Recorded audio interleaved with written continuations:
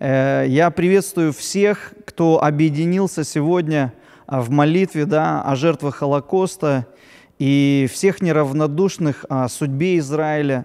Давайте сегодня будем э, делать то, к чему призвал нас Господь. Спасибо огромное всем участникам и Божьих благословений, Божьего мира, Божьего шалома всем нам.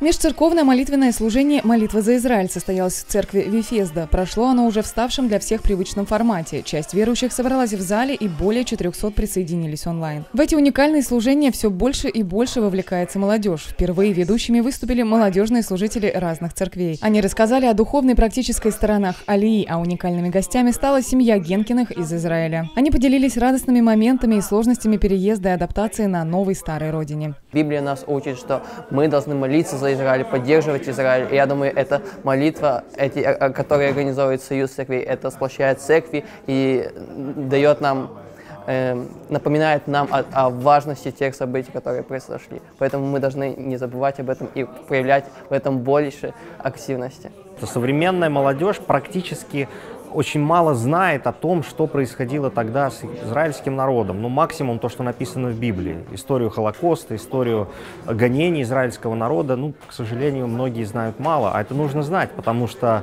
э, эта история помогает нам избежать ошибок в будущем, чтобы мы действительно стремились благословлять израильский народ и всегда молиться за него. И, конечно, звучали молитвы о том, чтобы Алия не прекращалась, о мире на земле Израиля и в Иерусалиме, о расширении иудейско-христианского диалога в России и все большем участии в молитвенных собраниях молодежи. Закончилось служение молитвенное, оно было в новом формате, формат э, многообещающий, потому что он интернет-формат, да, мы можем транслировать молитву по всей стране и даже по всему миру.